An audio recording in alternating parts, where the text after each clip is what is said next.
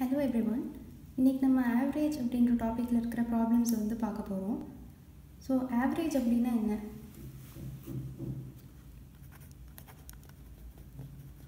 Average அப்படின்றது வந்து the total quantity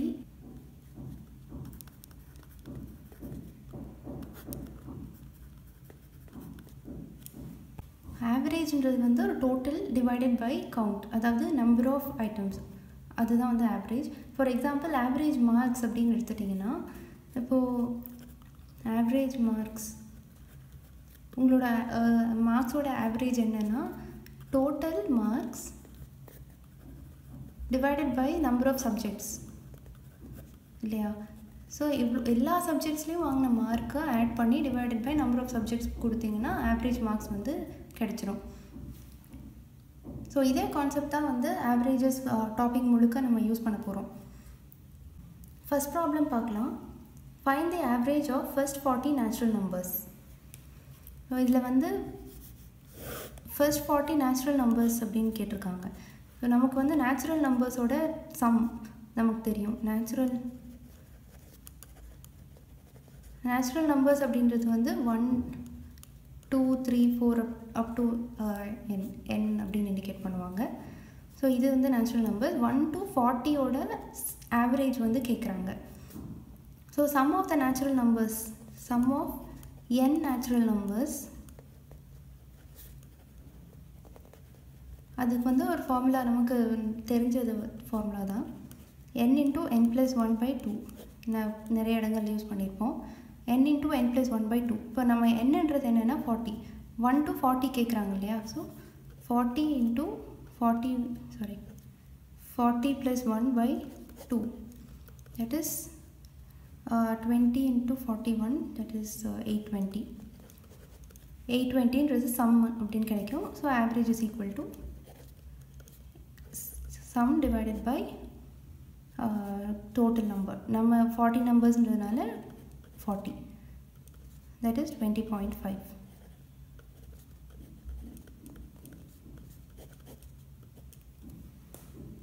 கொஞ்சம் ப்ராப்ளம்ஸ் கேட்பாங்க for example prime numbers between thirty and fifty அதோட ஆவரேஜ் என்ன அப்படின்னு அப்புறம் find the average of few five first few odd numbers அந்த மாதிரி ப்ராப்ளம்ஸும் இந்த இந்த மெத்தடு தான் same method next problem The average of four consecutive even numbers is twenty seven find the largest of the three numbers இந்த ப்ராப்ளமில் வந்து average of four consecutive numbers. So four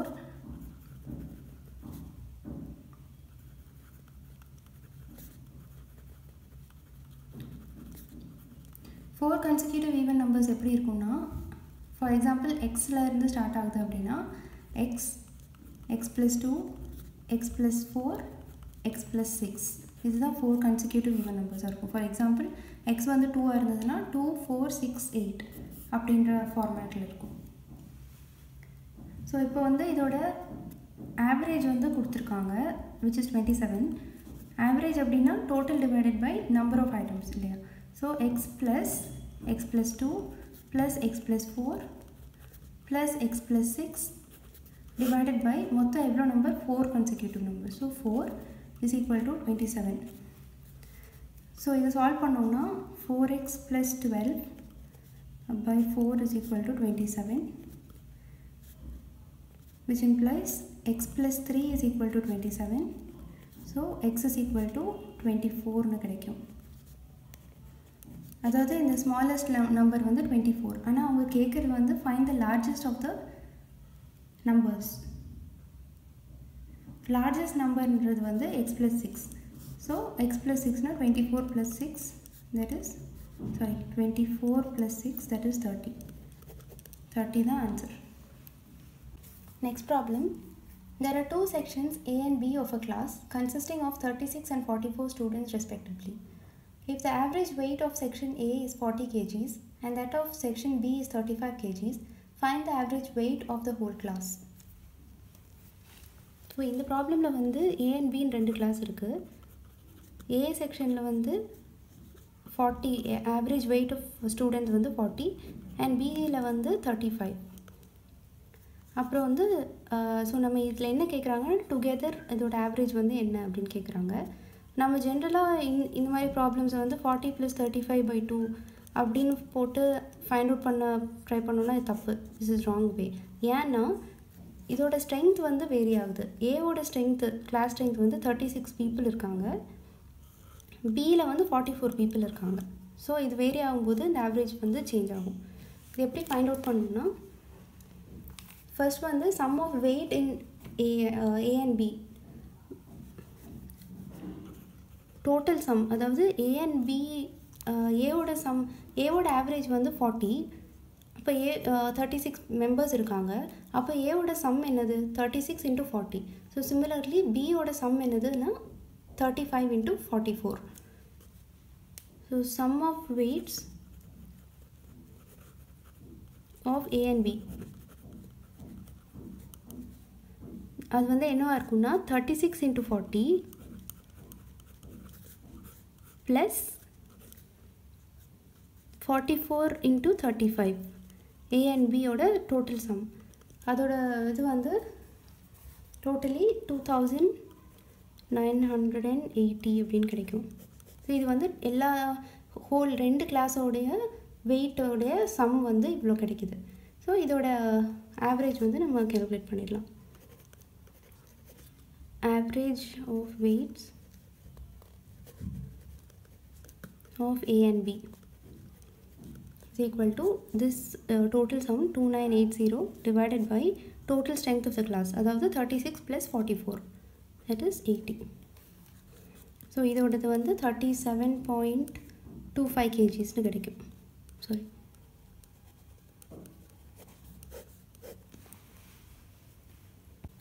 next problem Nine people went to a hotel for taking their meals.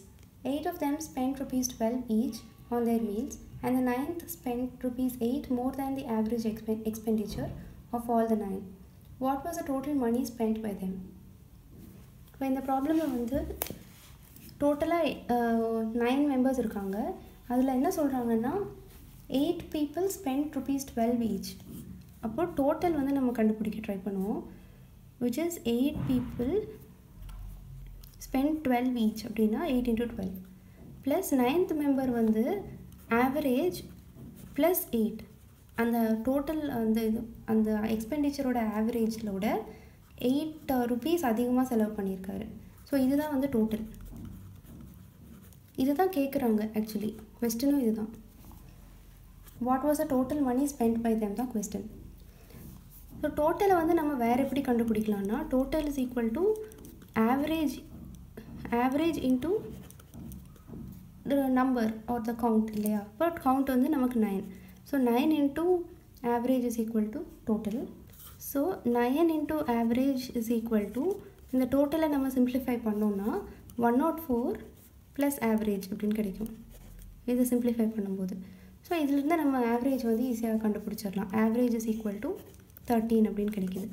But நம்மளோட question வந்து total தான் not the average so total is equal to average which is thirteen into number of people வந்து nine so that is equal to hundred and seventeen so அந்த ஹோட்டலில் வந்து hundred and seventeen rupees expense ஆகிருக்கு next problem of the three numbers second is twice and first and is also thrice third If the average of the three numbers is 44, find the largest number. இந்த ப்ராப்ளமில் வந்து ரெ மூணு number இருக்குது ABC அப்படின்னு எடுத்துக்கலாம். B அதாவது second number என்ன சொல்லியிருக்காங்கன்னா second number is twice as the first and also thrice as the third அப்படின்னு சொல்லியிருக்காங்க. ஸோ செகண்ட் நம்பர் பி வந்து twice two times that of A also three times a set of C அதுதான் given data அதுக்கப்புறம் அது அது மட்டும் இல்லாமல் அதோட ஆவரேஜும் கொடுத்துருக்காங்க. அதாவது A plus B plus C by three இதுதான் ஆவரேஜ் இல்லையா? ஸோ அது வந்து ஃபார்ட்டி ஃபோர் அப்படின்னு கொடுத்துருக்காங்க. ஸோ இதிலேருந்து ஃபைன் த லார்ஜஸ்ட் நம்பர் அப்படின்றது தான் கொஸ்டின் ஸோ இதிலேருந்து பி வந்து ரெண்டு மடங்கு ஏ விட ரெண்டு மடங்கு சி விட மூணு மடங்காக இருக்கும்போது பி தான் லார்ஜஸ்ட் நம்பர் அதில் எந்த டவுட்டுமே இல்லை. ஸோ அது இதிலிருந்து எப்படி சால்வ் பண்ணலான்னா from this equation B is equal to two A and also B is equal to three C அப்படின்ற ஈக்குவேஷன் கிடைக்கும் which implies A is equal to B by two and இதிலிருந்து C is equal to B by three அப்படின்னு ரெண்டு equation கிடச்சிருக்கு. So இதை வந்து நம்ம இதில் சப்ஸ்டியூட் பண்ணோன்னா ஏ வந்து பி பை டூ இல்லையா? ஸோ ரீப்ளேஸ் பண்ணுறோம் B by two plus B plus C வந்து B by three so B by three divided by three is equal to forty four இதை சால்வ் பண்ணோன்னா b by 2 plus b plus b by 3 is equal to 132 ಇದಕ್ಕೆ L C right now. Three B six B two B is equal to 132 which is uh, 11b 11b is equal to 132 into 6 which is nothing but 12 implies B is equal to 72.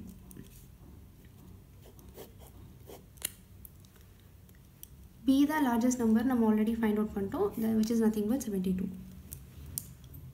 Next problem. The average of 25 results is 18.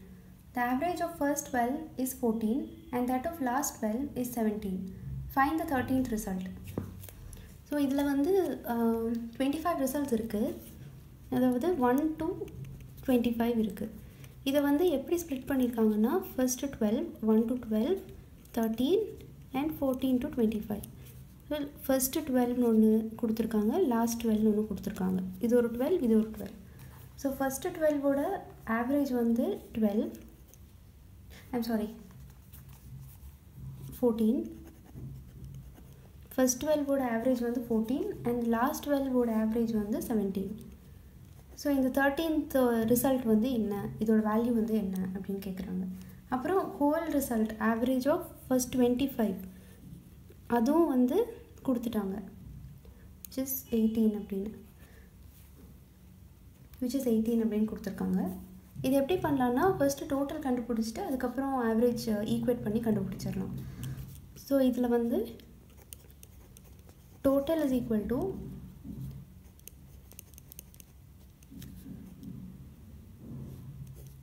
இது வந்து first twelve ஓடுது. Plus தேர்ட்டீன்த்தோட result ஒன்று இருக்குது தேர்ட்டீன்த்தோட result நமக்கு தெரியாது. So அதை வந்து எக்ஸ்னு எடுத்துக்கலாம். ப்ளஸ் லாஸ்ட் ஃபோர்டீனோட ஆவரேஜ் வந்து seventeen so twelve into seventeen இதோட ரிசல்ட் வந்து நம்ம கேல்குலேட் பண்ணோன்னா three seventy two plus x இந்த எக்ஸ் மட்டும் நமக்கு தெரியாது. Which is the thirteenth result அதுதான் நம்ம கண்டுபிடிக்கணும். அப்புறம் three seventy two plus x divided by twenty five ஏன்னா டோட்டலி டுவெண்ட்டி ஃபைவ் இருக்கு இல்லையா? ஸோ இந்த டுவெண்ட்டி ஃபைவ் டிவைட் பண்ணோன்னா ஆவரேஜ் கிடைக்கும். அது ஆல்ரெடி கொடுத்துருக்காங்க. தட் இஸ் எயிட்டீன் ஸோ இதிலிருந்து நம்ம X கண்டுபிடிச்சோன்னா x is equal to four fifty minus three seventy two so x is equal to seventy eight அப்படின்னு கிடச்சிரும் அதாவது எயிட் தேர்ட்டீன்த் ரிசல்ட் வந்தோட வேல்யூ வந்து seventy eight in fifteen The average age of a class of 39 students is 15 years. If the age of the teacher is included, then the average increased by 3 months. Find the age of this teacher. So இந்த problem வந்து நம்ம டைரெக்டாக approach பண்ணலாம் நம்ம last problem பார்த்த மாதிரியும் பண்ணலாம் அப்படி இல்லாமல் இதுக்கு ஒரு சிம்பிள் டெக்னிக்கும் இருக்குது அது எப்படின்னா ஸோ தேர்ட்டி நைன் ஸ்டூடெண்ட்ஸ் இருக்காங்க கிளாஸில் இதோட ஆவரேஜ் ஏஜ் வந்து fifteen years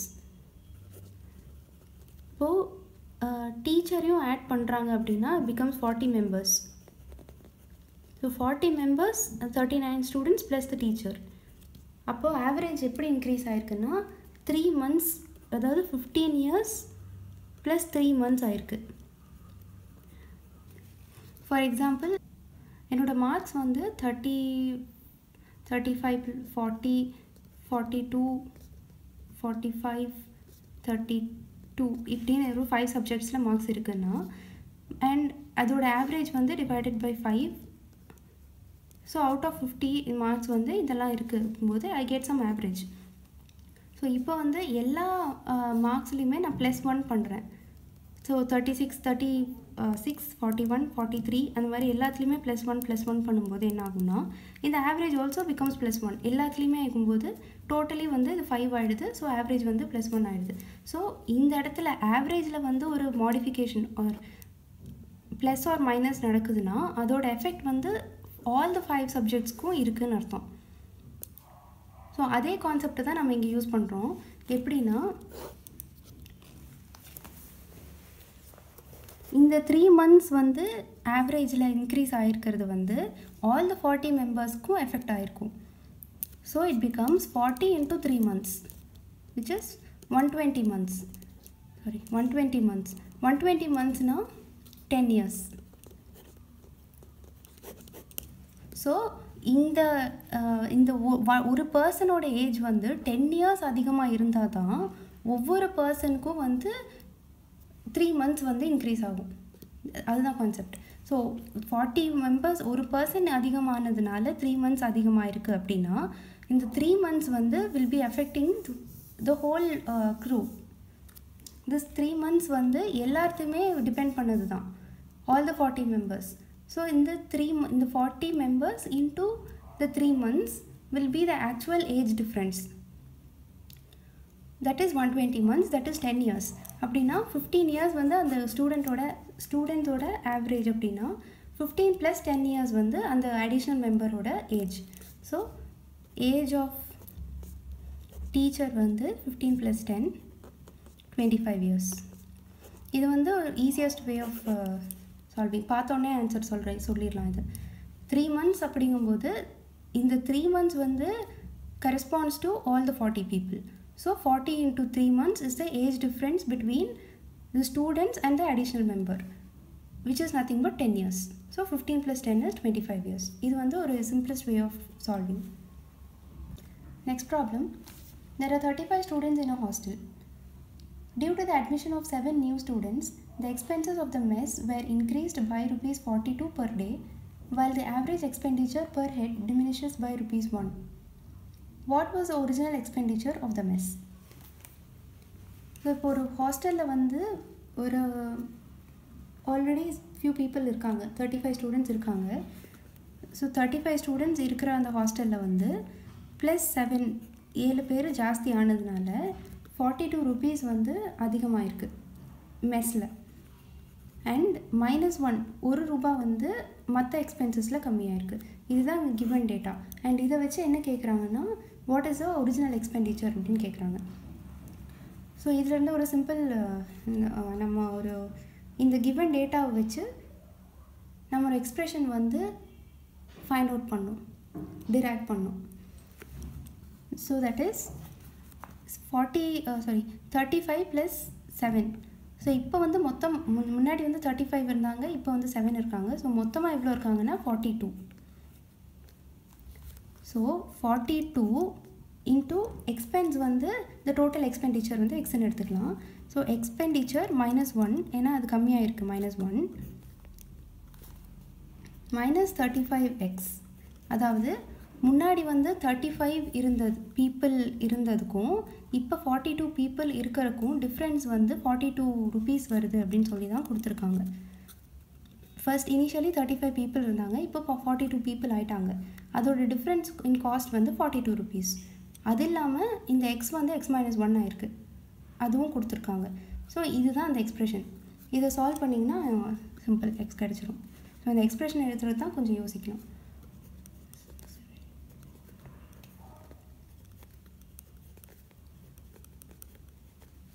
Okay so x is equal to twelve original expense total expense இப்போ வந்து இண்டிவிஜுவலாக சொல்லியிருக்கோம். ஒரிஜினல்